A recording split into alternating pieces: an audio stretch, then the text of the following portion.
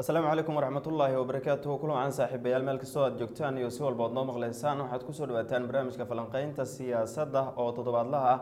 Xiliyadan oo kale si toosa aada oga daabataan ogana dhageysataan warbaahinta city. Barnaamijka toddobaadkan qodobada aan idinkugu soo gudmin doono haddii uu rabe qadiro waxaa qeyb ka noqonaya guddiga xaqiiqa raadinta ee uu magacaabay ra'iisul wasaaraha jamhuuriyadda federaalk ah ee soomaaliya maxamed xuseen rooble oo ku dhowaad soddon iyo afar xubnood ka saaray guddigii loogu talagalay inay ka shaqeeyaan doorashooyinka oo weliba ka kala socday dowladda federaalk soomaaliya iyo dowlad goboleedyada dalka. Qodobada kale aan idinkugu soo gudbin doono barnaamijka falanqeynta siyaasadda waxaa qeyb ka noqonaya saaxiibayaal taliska ciidanka booliiska soomaaliyeed. Waxa uu faahfaahiyey weerar ka dhacay magaalada muqdisho iyo sidoo kale dilalkii kala duwanaa ee magaalada muqdisho loogu geystay hooyooyin soomaaliyeed gaar ahaana maamo salaado oo iyadu ka mid ahayd hooyooyinka ku dhaqan magaalada caasimada ah ee muqdisho oo ninkeedu ku dilay isla degmada waa qeybo ka tirsan gobolka banaadir falanqeynta siyaasadda ayaan idinkugu soo gudmin doona waan ku eegi doonaa. Sidoo kale waxaad maqli doontaan madaxweyne ku-xigeenka dowlad goboleedka galmudug oo dhuusamareeb ka dhagax dhigay dhismaha xarunta wasaaradda deegaanka. Dowlad goboleedkaasi ayaan idinkugu soo gudbin doonaa. Taliyaha ciidanka booliiska soomaaliyeedna waxa uu faahfaahin ka bixiyey sida ay ugu diyaargaroobeen sugidda amniga doorashooyinka dalka. Waxaa kalood maqli doontaan taliyaha ciidanka asluubta iyo wasiirka cadaaladda xukuumadda soomaaliyana muqdisho ay ka daahfureen tababar aqoon kororsiya toddobaadkan. Barnaamijka yar idinkugu heyna saaxiibayaal iyo khudbado kala duwan oo halkaas iga jeediyeen. Qodobadaas iyo kuwa kale ayaan idinkugu soo gudbin doonaa. Anigoo cumar guuxa ayaa soo saaray halkan idinkala soo codsiinaya kaamirada waa saaxiibkee mahad arkey waxaynu ku bilaabeynaa guddigii xaqiiqa raadinta ahaa ee weliba loo xil saaray in ay baaritaan ku sameeyaan guddiga doorashooyinka heer federaal iyo sidoo kale heer maamul goboleed ayaa magaalada caasimada ah ee muqdisho. Waxay ku soo bandhigeen soddon iyo afar xubnood oo laga saaray guddigaasi kuwaas oo ay ku jiraan taliyayaal ciidan. Waa sida ay sheegeen guddiga kuwaasi oo horey caabashooyin kala duwan ay oga keeneen xubnaha musharaxiinta mucaaradka ah ee weliba u tartamaya jegada madaxweynaha soomaaliya. Wasiirka wasaaradda waxbarashada xukuumadda federaalk ah ee soomaaliya oo ah guddoomiyaha guddigaasi iyo sidoo kale wasiir ku-xigeenka wasaaradda warfaafinta xukuumadda federaalk soomaaliya iyo xubnaha guddigaasi oo shir jaraa'id ku qabtay magaalada muqdisho ayaa si weyn oga hadlay sida ay oga saareen iyo sidoo kale baltilmaameedka xubnahaasi ay ka dhigteen oo weliba guddiga laga saaray. Waxaana ay sheegeen in qaarkood ay ka socdaan xubnaha maamul goboleedyada dalka qaarkood dibna loogu celiyey iyo sidoo kale xafiiska ra'iisul wasaaraha xukuumadda federaalk soomaaliya isna dib loogu celiyey annagoo ah guddigii ra'isul wasaaraha u saaray inaan dibigeys ku samayno ama aan xaqiijino liisaskii guddigii doorashooyinka. Labada heer heer federaal iyo heer dowlad goboleed ee xildhibaanada doorashada soo socota. Waxaan ka guddoonnay midooda murashaxiinta iyo dadkii kale oo eedeynta qabay ilaa iyo lixdan iyo toddobo qof oo siyaabo kala duwan ay uga cabanayeen. Kuwa ay lahaayeen waxay ka tirsan yihiin ciidanka qaar ay lahaayeen dowladday u shaqeeyaan iyo qaar siyaasiyiina ama aan dhexdhexaad ahayn. Ilaa bishii saddexdeedii ayaanu dukumentigaas guddoonnay bishii saddexdeedii ilaa iyo maanta ayaan aada ooga shaqaynay. Dadaal iyo juhdi dheeraad ah iyo annagoo raadinaynay xabashada laga qabo inay tahay mid sax ah iyo mid aan waxba ka jirin. Guddiga dadaalkiisii waxaa u suuro gashay ilaa soddon iyo afar xubnood in cabashooyinkii laga qabay. Waxuun ka saameeyeen soddon iyo afartaas xubnoodne waxaan u kala dirnay maamul goboleedyadii soo magacaabay iyo xafiiska ra'isul wasaaraha oo qeyb ka mida laga soo magacaabay. Hawshaas waxaa weeye maanta ayaan soo gabagabeynay waxaan sugaynaa waxaa weeye in maamul goboleedyana ay soo magacaabaan dadkii loo diray. Xafiiska ra'isul wasaarahana laga magacaabo muddo siddeed iyo afartan saacadooda. Kadibna ay soo xaroodaan tababarna loo sameeyo kadibna doorashada la aado. Warkaas arrimahaas faahfaahintooda waxaan ku wareejinayaa afhayeenka guddiga oo ah wasiir ku-xigeenka wasaaradda warfaafinta mudane cadaalo soo dhowow bismi raxmaan iraxiim waa mahadsan yahay guddoomiyaha guddiga iyo wasiirada kale ee saaxiibada ah. Sida uu wasiir cabdulahi carab wasiirka waxbarashada guddoomiyana noo ah uu sheegay Eh, maalmo dadaal dheer aan bixinay eh, wadatashi ballaaran aan sameynay eh, isticmaalnay dhammaan aaladihii aan heli karnay. Eh, suurtagalka nooga dhigi lahaa in aan kala ogaano cabashooyinkii la xiriiray guddiyada eh, saddexda qaybood ah ee hirgelinta doorashada guddiga heer federaal ee fit guddiga xalinta khilaafaadka iyo guddiga maamulka doorashooyinka heer dowlad goboleed ee siit. Waxaa eh, caawa inoo suurto gashay inaan soo gabagabayno eh, muxuu ahaa kala saaristii iyo kala hubintii cadaymihii xubnihii lixdan iyo toddobada ahaa. Sida uu sheegay wasiirku soddon iyo lix xubnood eh, soddon iyo afar xubnood oo ka mid ah lixdan iyo toddobadii xubnood ee la soo eedeeyey ayaa guddigu waxay u arkeen in aysan buuxinin eh, shuruudihii ay ahayd in uu lahaado eh, qofka ka mid noqonaya guddiyada maamulka ee heer federaal qaarkoodna ay ku maxay ahaa lifaaqnaayeen heshiiskii toddobiyo tobankii sebtembar kuwo kalena uu amray ra'iisul wasaaruhu isagoo ka fakeraya hufnaanta muxuu ahaa ay u baahan tahay doorashada iyo in eh, ay noqoto mid dhammaan dhinacyadu ay ku wada muxuu ahaa qanacsan yihiin. Soddon iyo afartaas xubnood waxay kala ahaayeen kow iyo toban xubnood oo ah guddiga maamulka doorashooyinka heer federaal ee fiit saddex xubnood oo ah guddiga xalinta khilaafaadka eh, shan eh, toddoba xubnood oo ah guddiga eh, maamulka doorashooyinka heer dowlad goboleed ee somalilan eh, shan xubnood oo ah guddiga maamulka doorashooyinka heer dowlad goboleed ee galmudug saddex xubnood oo ah guddiga maamulka doorashooyinka heer dowlad goboleed ee koonfur galbeed laba xubnood oo ah guddiga maamulka doorashooyinka dowlad goboleedka hirshabeelle shan xubnood oo ah guddiga maamulka do- doorashooyinka beelaha banaadiriga iyo hal xubin oo ah guddiga maamulka doorashooyinka heer dowlad goboleed dowlad eh, eh, goboleedka puntland. Waxaa sidoo kaleeto jira eh, in dowlad goboleedka jubbaland ay soo bedeleen xubno qaarkood ay geeriyoodeen iyo kuwo laga qabay tabashooyin la xiriira hufnaantooda.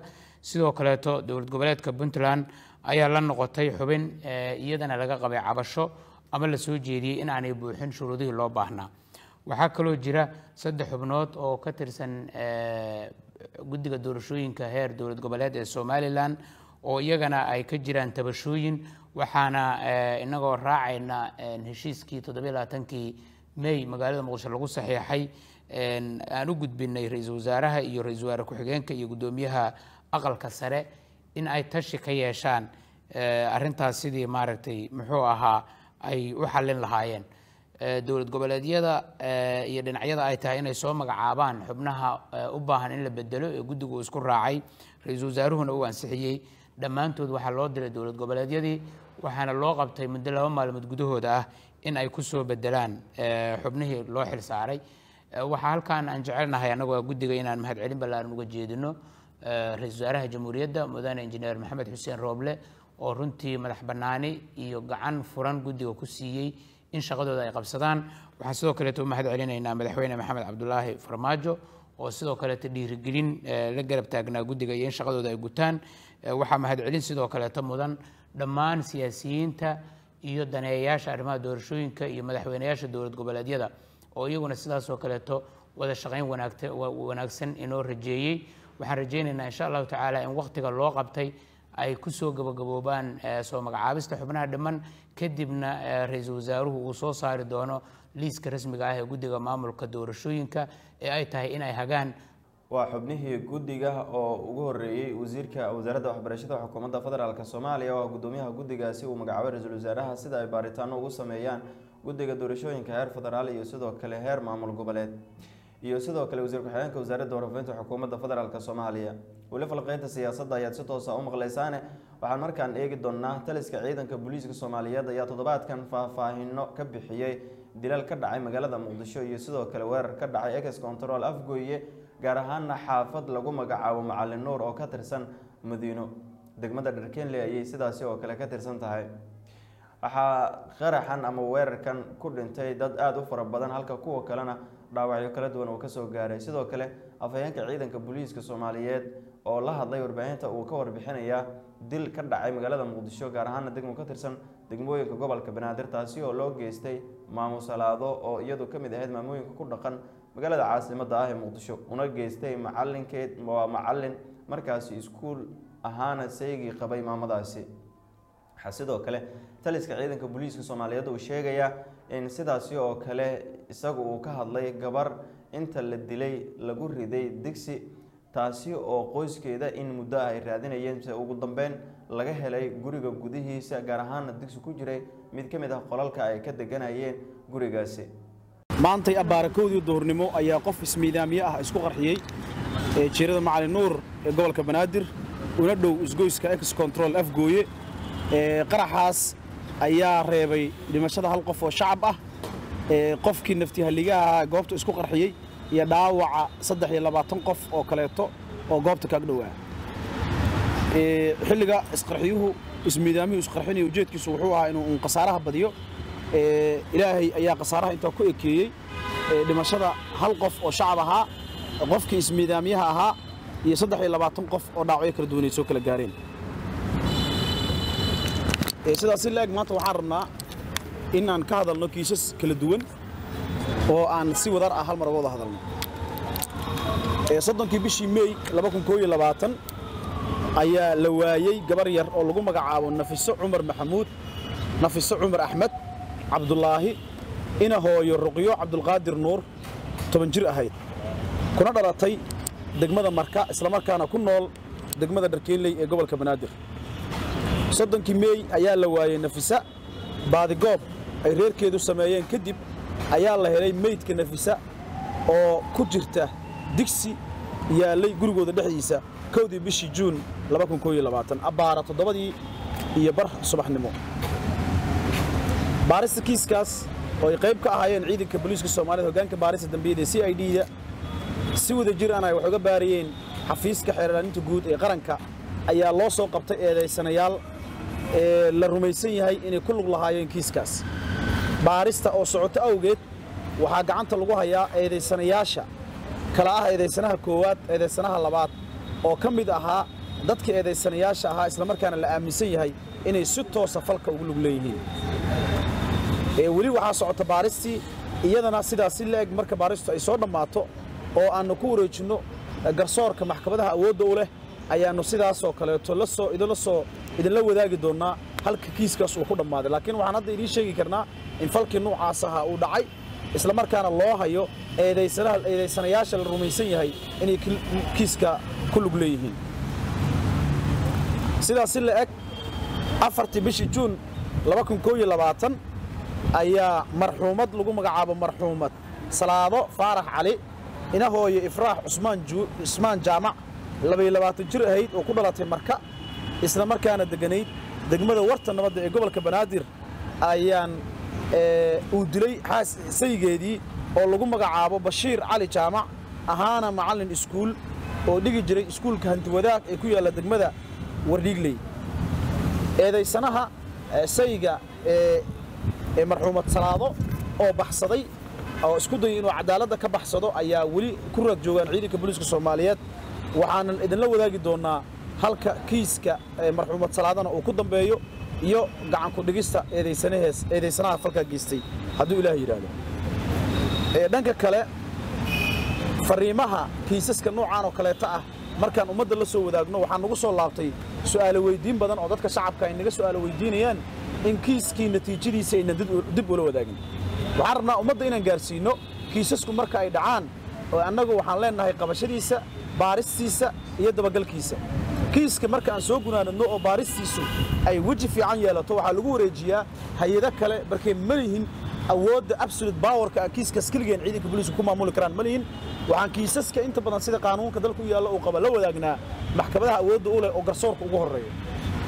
Halkaas ayaa kiiska natiijadiisii ayay ku soo dhammaataa marka haddii ay lagama maarmaan noqoto in natiijada kiisaska dhaco oo aan ummadda la wadaagno hordhacoodii aan natiijadoodii la wadaagno waxaan insha allah idinla wadaagi doonnaa natiijooyinka kiisasku goobta ay ku dambeeyaan. Waa mahadsantihiin asalaamu calaykum waraxmatullaahi wabarakaatu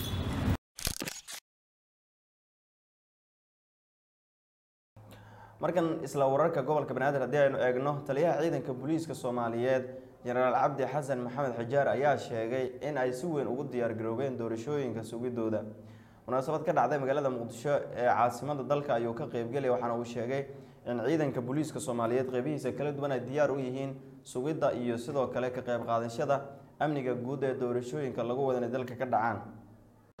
Waxaan marka hore eh, rabaa inaan u mahad celiyo eh, wasiirada xildhibaanada eh, muxuu ahaa senatarada mas'uuliyiinta guddoomiyaasha degmooyinka iyo gobollada ee nagala soo qeyb galay xafladda tan yar oo aanu nagu soo sharfay nagana aqbalay inay nagala soo qeyb galaan xafladda tan. Aada iyo aadaanu muxuu ahaa ugu mahad celinaynaa. Waxaan kaloo rabaa inaan u mahad celiyo ciidanka akademiyada generaal kaahiye uu taliyaha ugu horeeyo ciidamada jooga ciidamada ka soo qeyb galay xafladda tan banda musico heegan ubaxa barbaarinta carruurta booliiska dhammaantood oo hawsha tan iyo xafladda tan isku dubaridkeeda iyo muxuu ahaa qurxinteeda iyo martiqaadkeeda lahaa aada iyo aadaan rabaa inaan ugu mahad celiyo qof kastoo ka qayb qaatay hawsha tan laysku dubariday waxaan rabaa inaan wax yar dib ugu noqdo oo aan u sheego in ciidanka booliisku kun iyo sagaal boqol iyo afartan iyo saddexdii la aasaasay. Ilaa haddeer waxaan u malaynayaa waxaa foodan ugu haysto december twaniga soo socda inay noqonayso toddobaatan iyo siddeed guuradii ciidanka booliiska soomaaliyeed la aasaasay.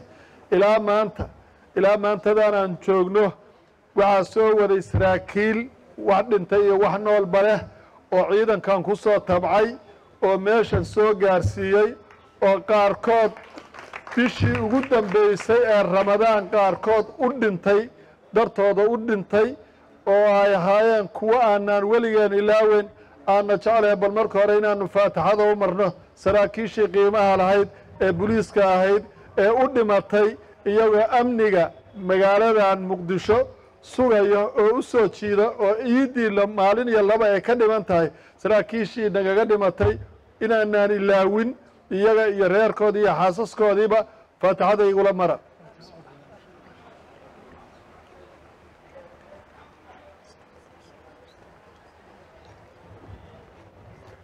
Ilaahay ha u naxariisto annagana samir iyo imaan hanaga siiyo. Caasimaddan xamar dalka oo dhan guud ahaan gaar ahaan caasimadda xamar nabadgelyada ay ku joogto ciidamada amniga awgis maaha wax iska yimi oo samada ka soo dhacay. Roobka aada aragteen ee da'ayey ramadaanka aada aragteene suxuurta iyo afurka ay cilaamiga taagnaayeen iiddii la diyaar garoobayo dadku farxadda ku cayaarayo goobaha caweyska isugu imaanayey howlahaas oo dhan iyo howlo badan oo uu la dabacsanaa cadowga soomaaliyeed oo jeclaa inay habeen walba degmo ama gobol ama qeyb ay magaalada xamar qarxiyaan. Amnigaa ay ku naaloonaysa cayaar kuma imaan waxay ku timi ciidamada amniga dhiigooday ku timi.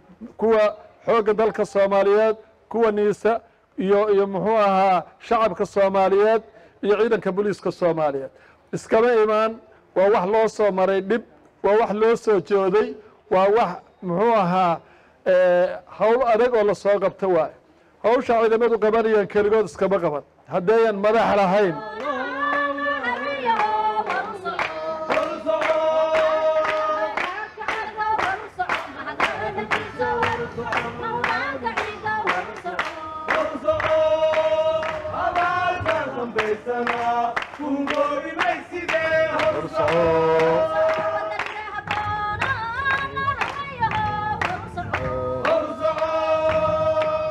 mahadsantiin iskama imaan waxay ku timi gacansiinta iyo kawarqabka iyo taakulaynta muxuu ahaa mas'uuliyiinta dowladda oo ugu horeeyo wasiirkeenna amniga oo nagu gacan siiya wax allaale wixii aanu uga baahanno talo iyo tayo iyo iyo muxuu ahaa mas'uuliyadda qeybtiisa iyo aragtidiisa iyo vishinkiisa aanu ku shaqayno ayaa ka mid ah sare muxuu ahaa mas'uuliyiinta.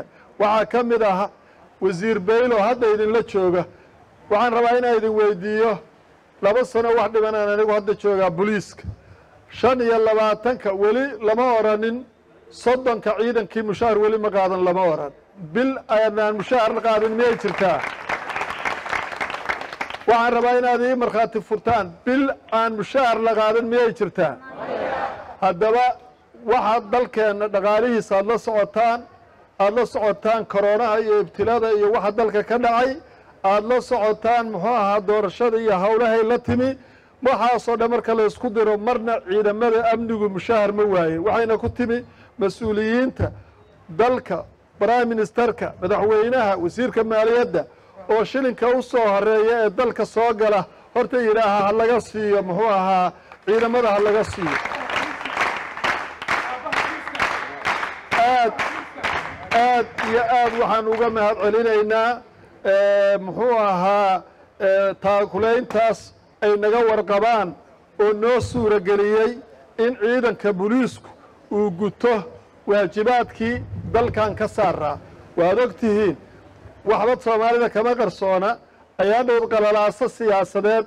Baad magaalada xamar ka dhici lahaa qaybta booliiska uu ka qaatay xagga amniyeynta iyo ka warqabka iyo iyo iyo kaalinta nin walba soomaaliya waa ka dheragsan yahay. Nin aan ogeyn oo soomaalihii ma jiro in ciidanka soo booliiska soomaaliyeed uu hawshaa ka qaatay xalinteeda qaybta kaga aadan ee amniga cid waliba waa og tahay aad iyo aadan waxaan idinkaga mahad celinayaa ciidanka booliiska meel kastoo ay joogaan waxaan rabaa inay muxuu ahaa meeshay joogaan ka sii laban laabaan sidaad ka warqabtaan laba maalmood ka hor waddada isku xirta dekedda martiini marta marta suuqa malayga ciidanka booliiska lagu soo wareejiyey waxyaabaha lagu loogu soo wareejinaya waxaa weeye ciidanka booliisku meesha uu qabto mas'uuliyad mas'uuliyad baa ka saaran. Waxaana rabaa in ciidanka booliiska ee degmooyinka iyo toddobiyo tobanka degmo iyo muxuu ahaa iyagoo kaashanaya ciidamada amniga ee ay la falgalaan iyo duqa magaalada iyo maamulka gobolka banaadir oo dhan inay laba jibaaraan inaan dalka kani uu ku dhammaa ku socdo si nabadgelyo ah waxaa fooda nagu soo haya oan cidna ka qarsoonayn doorashadii dalkan oo muddaysan oo la sugaayo. Waxaa ciidanka booliiska ka go-an inay ka qayb qaataan oo si cadaalada uga qayb qaataan doorashada mas'uuliyadda ka saaran ee ugu weynna waxaa weeye amniga amniga. Amniga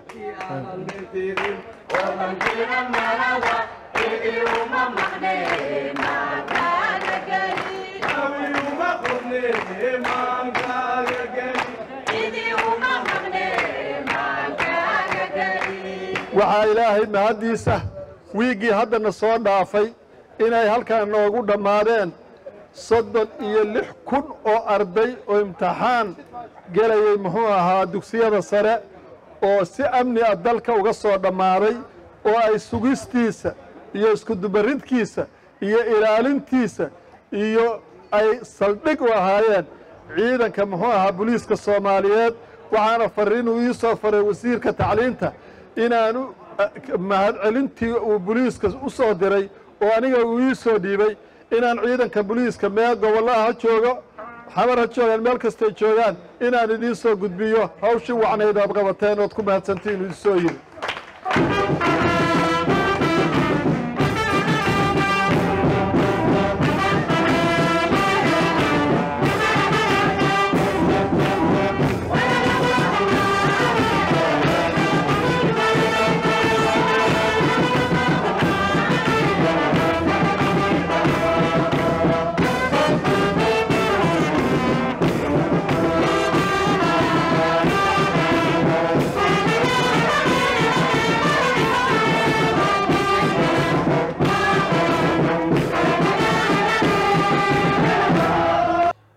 genaraal mahad aadan cabdiraxmaan ayaa waxa uu ka warbixiyey ciidanka asluubta iyo sida ay u shaqeeyaan kadib markii uu sheegay in wasaaradda cadaaladda xukuumadda federaalk soomaaliya ay ciidamadan hoostagaan wax walba oo shaqadooda ahna ay u baahan yihiin sidaan oo kale in kormeer joogto ah loogu sameeyo. Dhanka kalena waxaa hadli doona wasiirka wasaaradda cadaaladda xukuumadda soomaaliya oo isaguna dhankiisa sheegay in ciidanka asluubta ay yihiin akadeemiyad laga soo saaro dad akhlaaqaysan oo weliba diinta islaamka faham badan ka haysta. Dhinaca kalena waxa uu ka hadlayaa wasiirka in wasaaradda diinta iyo waqaafta xukuumadda federaalk ah ee soomaaliya waajibaad xoogan uu ka saaran yahay.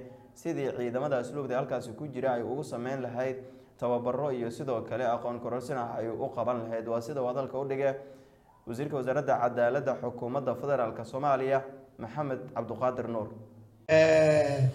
wasiir diimeed diinta iyo cuqaabta iyo kii cadaaladda isla socdo culamadiisii wata oo sheekh cali dheere ka dhex muuqda waan aragnay annaga maanta noo kooway micnaheeda muxuu u dhacayaa laba sanana waa joogaa.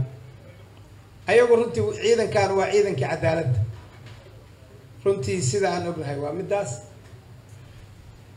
Dad marka ku xisaabtamaya inay wasaarad cadaaladeed iyo wasaarad diin iyo cuqaaf oo culamadiisii xambaarsan. Iyaad leedihiin dad ku xisaabtamaayo uma aanan muuqan. Haddana inaan leenahay waa arkaynay micni. Waa laba kelmadood oo bilcagsi ah waay haddayna shaqadu jirin oo la wada shaqaynaynin oo mas'uuliyiintii sare saas ayna wax kuu xasuusinayn ku dul taagnayn wuxuba sheekay kula noqonaysaa aada maarata saas camal ay noqonaysaa. Waa aad baan inkugu mahadcelinaynaa soo dhawaada waktiguna waa iska cariiri. Barnaamijkanaga maraa la ballaarin doonaa. Xaflad lay loogu talagalay. Waxqabadkii ciidanka asluubta aan samaynay. Iyo meesha aan marayno. Inaad aragtaanna waa waajib. Marka xafladdaas mar kalean samaynayna. Tababarkaan iyo hadda xisadahan waxaan markay dhammaadaan. Yaan hal mar dhigaynaa laga soo qaybgalayo oo jaanis leh micnihi. Taasna waa suubinaynaa waad ogaanaysaan. Waad maqlaysaan seminaarku waa saddex beri. Culimmadaa dhiibaysa cashirada cashir diimeedaan qaadanaynaa wax la qaato adduunka dushiisa iyo aakharaba kaasaa ugu fiican. Culimo waaweyn baa maanta noo timid. Aada ha loo tixgeliyay hala dhagaysto saddexdaa beri. Maskaxdiina ku shiba waxaa la idiin sheegaya annaga xafladaan iska dhiganaa waxaa jiri doono koorso oo ay bixin doonaan muxaadarooyin ay bixin doonaan muddo saddex maalina oo ay maaragta ciidamada asluubta soomaaliyeed ay siin doonaan. Muxaadaradaas oo hadafkeedu yahay in ay qeybtii ay ku lahaayeen fahansiinta arrimaha diineed iyo dhaqan oo aan leenahay inay maaragta ciidamadu ay la wadaagaan raygooda iyo wixii ilaahay baray. Taa marka wasaaradda diinta hawshaas noo qaban doonta annagana ka wasaarad cadaalad ahaan iyo asluub ahaan waan martigelinaynaa waan soo dhaweynaynaa waanu ku bogaadinaynaa.